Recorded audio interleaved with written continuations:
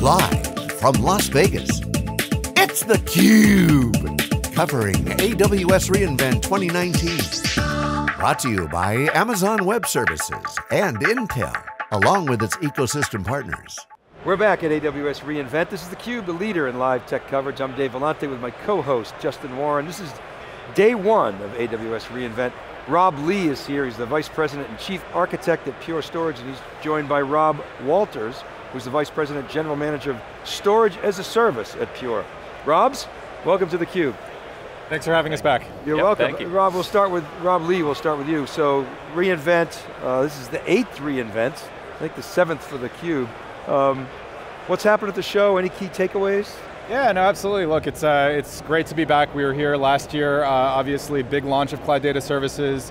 Um, so it's great to be back a year in um, and just kind of reflect back on uh, you know, how the year's gone for uptake of Cloud Data Services uh, you know, uh, on AWS, and it's been a banner year, right? So we saw over the last year, uh, CloudSnap go GA, Cloud Block Store go GA, um, and you know, just really good customer uptake, adoption, and kind of interest out of the gates. Um, so it's kind of great to be back, great to kind of uh, share what we've done over the last year, as well as you know, just get some feedback and uh, more interest from uh, future customers and prospects as well. So Rob W., with your background in the, in the cloud, what's your take on you know, this notion of storage as a service? How do you guys think about that and how do you look at that? Sure. Um, well, this is an ever more, um, you know, increasingly important way to consume storage. I mean, we're seeing customers who've been, you know, got used to the model, the economic model, the as a service model in the cloud, now looking to get those benefits on-prem and in the hybrid cloud too, which if you know, you look at our portfolio, we have, we have both there as part of the Pure as a service. Right, okay, and then so, Pure Accelerate, you guys announced Cloud Block Store. Yeah, that's when right. we took a GA, right? So we've right. been working with customers uh, in, a, in, a, protracted beta process uh, over the last year to really refine um, the fit and use cases uh, for tier one block workloads, uh, and so we took that GA and accelerate. So this is an interesting, you know, you're, you're, you're a partner, obviously, with Amazon. Yep. I would think many parts of Amazon love uh, Cloud Block Store because you're using EC2, you're front-ending S3, you're like, yes. you're helping Amazon sell services, and you're delivering you know, a higher level of availability and performance uh, in, in, certain workloads relative to EBS. Right? Absolutely. So there's probably certain guys at Amazon that aren't so friendly with it. So that's an interesting dynamic, but talk about the positioning of Cloud Block Store, any sort of updates on uptake? What are customers excited about? What can you yeah, share? no, absolutely. Um, you know, I, would say uh, primarily we're most uh, kind of uh, pleased with the variety of workloads and uh, use cases that customers are bringing us into. Uh, you know, I think when we started out uh, on this journey, we saw a tremendous promise for the technology to really improve the AWS ecosystem and customer experience uh, for people that wanted to consume block storage in the cloud. what we learned as we started working with customers is that um, because of the way we've architected the product, brought a lot of the same capabilities we deliver on our flash arrays today into AWS, it's allowed customers to take us into all the same types of workloads that they put flash arrays into, right? So that's their tier one, uh, you know, mission critical environments, uh, their VMware workloads, their Oracle workloads, their SAP workloads. Um, they're also looking at us from everything from, you know, to do lift and shift, uh, test and dev uh, in the cloud, uh, as well as DR, right? And and that, again, I think, you know, speaks to a couple things. It speaks to the durability, the higher level of service that we're able to deliver uh, in AWS, uh, but also the compatibility with which we're able to uh, deliver the same sets of features and you know, have it operate in exactly the same way on-prem in the cloud. Because look, if you're going to DR, uh, the last time, you know, the last point in time you want to discover that there's a caveat, hey, this feature doesn't quite work the way you expect, is when you have a DR failover. And so the fact that we set out with this uh, mission in mind to create that exact level of sameness, um, you know, it's really paying dividends in, in the types of use cases that customers are bringing us into. So you guys obviously, um, big partner of VMware, you've done very well in that community. So VMware Cloud on AWS, is that a tailwind for you guys, or can you take advantage of that at this point? Yeah, no, so I mean, I, I think, um, I think the way I look at it is both VMware, um, you know, pure AWS, I think we're all responding to the same uh, market demands and, and, customer needs, right? Which at the end of the day is, look, if I'm an enterprise customer, the reality is I'm going to have some of my workloads running on premise, I'm going to have some of my workloads running in the cloud. Um, I expect you, the vendors, right, to help me manage this diverse hybrid environment. Um, and I, what I'd say is, you know, there are puts and takes how the different vendors are going about it. But at the end of the day, that's the customer need, right? And so, you know, we're going about this uh, through a very targeted uh, storage-centric approach because that's, you know, where we uh, provide service today. Um, you know, and you see VMware uh, going after it from the kind of uh, uh, application hypervisor kind of virtualization end of things. Um, you know, over time, you know, we've had a great partnership with VMware on-premise, um, and as both Cloud Block Store and VMware Cloud uh, mature, you know, we'd look to replicate the same motion uh, with them in, in that offering. Yeah, I mean, to the, to the extent, I mean, you think about VMware moving workloads, you know, with their customers into the cloud, more mission critical stuff comes into the to the cloud. That's been a it's been hard to get a lot of that those, those workloads in to date. Yep. Uh, and that's maybe the next next wave of cloud. Rob W, I have a question for you. Is you know Amazon's been kind of sleepy in in storage over the S3, EBS. Okay, great. They dropped a bunch of announcements, you know, this year, um, and so it seems like there's more action now in the cloud. What's your sort of point of view as to how you make that an opportunity for, for Pure? The way I've always looked at it uh, is that uh, there's been a way of getting your storage done and delivered on AWS, huh? and there's been the way that enterprises have done things on-premise. And I think there was a sort of a, a, longer term bet from AWS, so that was the way things would sort of fold towards right. uh, into the public cloud. And now we see, you know, all of the hyperscalers, quite honestly, with um, on-prem you know, hybrid opportunities, um, you know, with the like Outpost today, Absolutely, yeah. You know, hybrid is a real thing. It's not just something people said that couldn't get to the cloud. You know, it's a real thing. Um, so I think that actually opens up opportunity from both sides. Uh, true enterprise class features that our enterprise class customers are looking for in the cloud through something like CBS are now available. Uh, but I think, you know, an Amazon or another hyperscaler reaching back down into the um, on-prem environments to help with the onboarding of enterprises up into the cloud. Yeah. So the as a service side of things makes makes life a little bit interesting from my perspective because that's kind of new for Pure to provide that that storage as a service. Yep. But also for enterprises, as you say, they're used to running things in a particular way. Yep. So as they move to cloud, they're, they're kind of having to adapt and change, and yet they don't fully want to. Hybrid is a real thing. There are real workloads that need to perform in a hybrid fashion. So what does that mean for you providing storage as a service? And still, to Rob Lee's point, still providing that consistency of experience across the entire entire product portfolio, because that's, that's quite an achievement. And many other storage providers haven't actually been able to pull that off. Yeah. So how do you keep all of those components working coherently together and still provide what customers are actually looking for? I think you have to go back to what the basics of what customers are actually looking for. Um, you know, they're looking to make smart use of their finances, you know, CapEx potentially, you know, they're moving towards OpEx, that kind of consumption model is growing in, in, in popularity. Um, and I think a lot of enterprises are seeing less and less value in you know, the sort of nuts and bolts storage management of, of old, and we can provide a lot of that through the as a service offering. So we handle the capacity management and monitoring. Uh, we've always done the um, evergreen service subscription, so with software and hardware upgrades. So we're letting you know, their sort of shrinking CapEx budget and perhaps their limited resources work on the more strategically important elements of, of their you know, IT strategies, including hybrid cloud. Rob Lee, one of the things we've talked about in the past is AI. Uh, I'm interested in sort of the update on the AI workloads. Uh, we heard a lot, obviously today on the main stage, about machine learning, machine intelligence, AI, uh, transformations. How's that going, the whole AI push? You guys were first, really the first storage company uh, to, to sort of partner up and, and deliver solutions in that area. Give us the update there. How's, how's it going? What are you learning? Yeah, so uh, it's going really well. Um, so it continues to be a very strong driver of our FlashBlade business.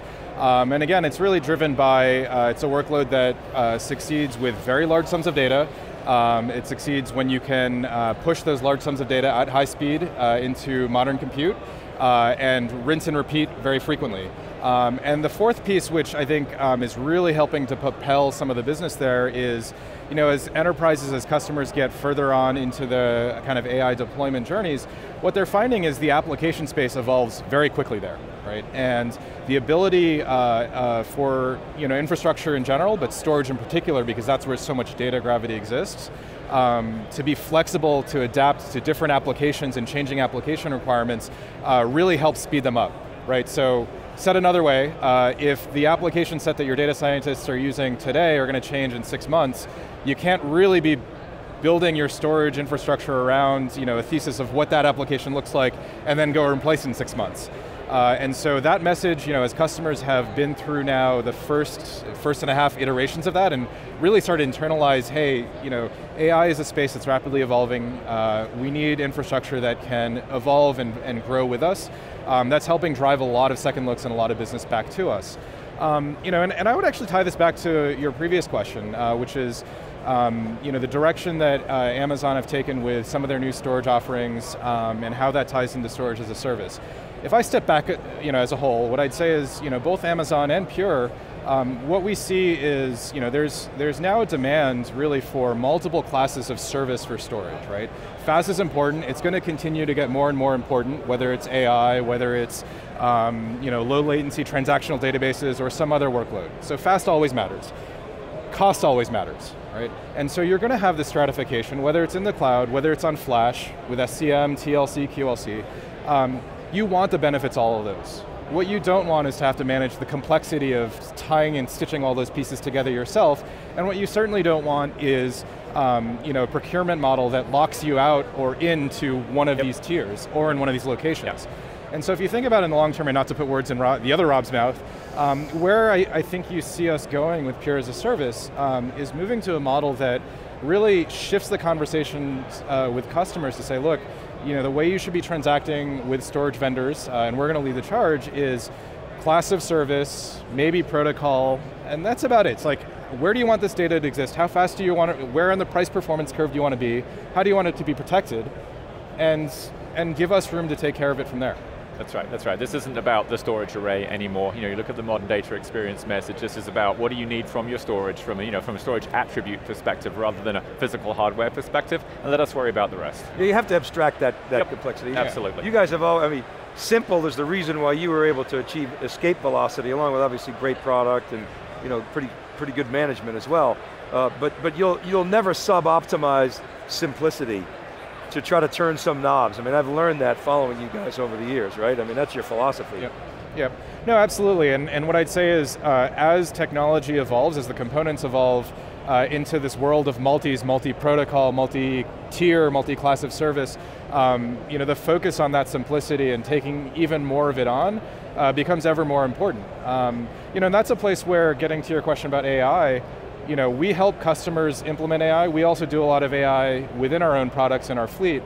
Um, that's a place where our AI-driven ops uh, really have a place to shine in delivering you know, that, that kind of best uh, uh, optimization of price, performance, tiers of service, uh, so on and so forth, within the product lines.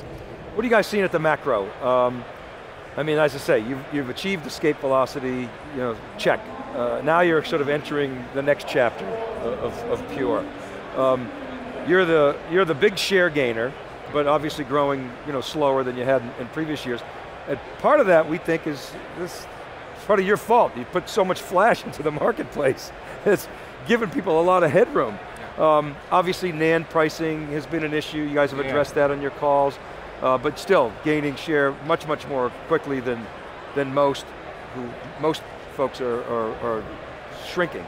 So what are you seeing at the macro? What are customers are telling you in terms of you know, their long-term strategy with regard to storage? Uh, well, so I'll, I'll, start. I'll let Rob uh, add in. You know, what I'd say is, um, you know, what I'd say is, you know, we we see in the macro a shift, a clear shift to flash, right? It, we've we've called we've called this shot since day one, right? Um, but what I'd say is that's accelerating. Um, you know, and, and, that's accelerating with pricing dynamics, with, you know, and we talked about a lot of the NAND pricing and all that kind of stuff. Uh, but in the macro, right, um, I, I, think there's a clear realization now that customers want to be on flash, right? It's just a matter of what's the sensible rate, what's the price kind of curve to get there. Um, and you know, we see a couple meaningful steps. We saw it you know, originally with our flash array line taking out 15K spinning drives, 10K is really falling. Um, you know, with QLC coming online and, and what we're doing in FlashArray-C, um, you know, the 7200 RPM drive kind of uh, in the enterprise, you know, those days are, are numbered, right? Um, and, I, and I think for many customers, at this point, it's really a matter of, okay, uh, how, you know, how quickly can we get there and when does it make sense to move as opposed to does it make sense? Um, in many ways, it's, it's really exciting because if you think about it, the focus uh, for so long has been in those tier one environments, um, but in many ways, the tier two environments are the ones that could most benefit from a use, uh, move to Flash. because you know, a couple things happen there. Because they're considered lower tier, lower cost, they tend to, you know, they tend to spread like bunnies. They tend to, you know, be kind of more neglected uh, parts of the environment. Um, and so having customers now be able to take a second look at modernizing, consolidating those environments um, is both helpful from a operational point of view, it's also helpful um, you know, from the point of view of getting them to be able to make that data useful again. I, would also say that those exact use cases are perfect candidates for an as-a-service consumption model because we can actually you know, raise the utilization, actually helping customers manage to a much more uh, you know, utilized set of arrays than the overconsumption, underconsumption game they're trying to play right now with their annual you know, um, CapEx cycles. And so, how aggressive do you see customers wanting to take advantage of that as a service, as a service consumption model? Is it is it mixed or is it like, we want this? There's a lot of customers are just like, we want this and we want it now. Um, we've seen a very good, tr good traction and adoption. Um, so yeah, it, it's a surprisingly um, large, complex enterprise customer adoption as well. Yeah, a lot of enterprises, they've gotten used to the idea of cloud from AWS. They like that model of dealing with things and they want to bring that model of operating on site because they, they want cloud everywhere. They don't actually want to transform the cloud into enterprise. That's right, no, exactly. I mean, if I go back, you know, 20 plus years to when I was doing, you know, hands-on IT, the idea that, you know, we as a team would let go of any of the widgetry that we are responsible for never would have happened.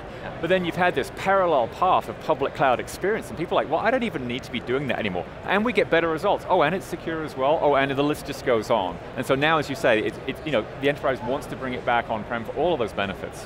One of the other things that we've been tracking, and maybe it falls in the category of you know, cloud 2.0, is this sort of new workload forming. And, and I'll preface it this way. You know, the, the early days, of the past decade of cloud, infrastructure as a service been about, yeah, I'm going to spin up some EC2, I'm going to need some S3, whatever, I need some storage.